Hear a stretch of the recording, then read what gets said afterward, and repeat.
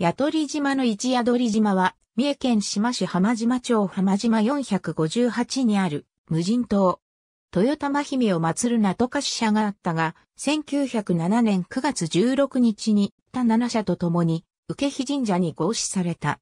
浜島港の拡張工事により、突定で本土と陸続きになった。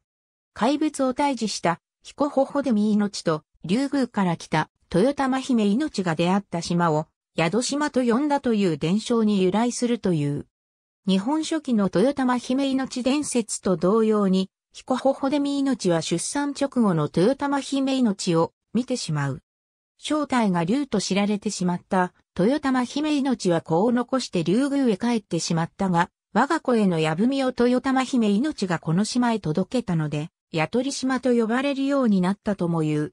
一般に、ヤトリ島と呼ばれるのは、突定で陸続きになった大ヤトリ島である。付近には、小宿り島が存在するほか、渡瀬と呼ばれる岩礁が見られる。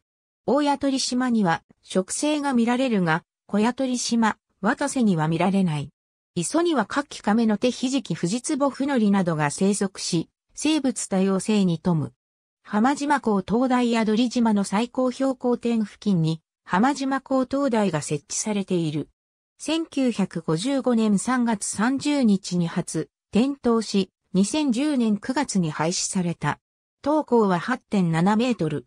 現役時代は4秒に一度線香を発し、光立ち距離は10回入りであった。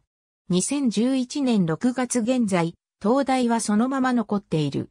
干潮時に堤防の左側に現れる歴浜の右手にある小さな獣道を登ると灯台に達することができる。近鉄島線宇方駅より30、交通バス宿浦駅乗車、浜島下車、徒歩25分。ありがとうございます。